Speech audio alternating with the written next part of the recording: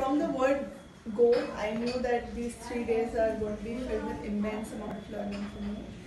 And um, it was a very different feeling. Uh, the first time in my life I have been with such a diverse group of people, come from different backgrounds.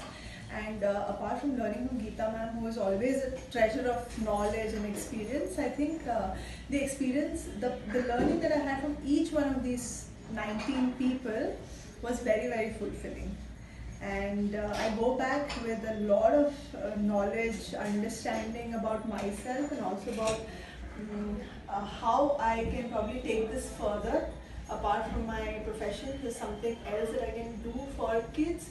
That, that is something that I'm going to look forward to. Can you also tell them who you are and what you Yeah, yeah. So uh, my name is Shirley, and uh, I'm uh, working in HR in Sony Pictures Networks, and um, yeah. Great. Thank you.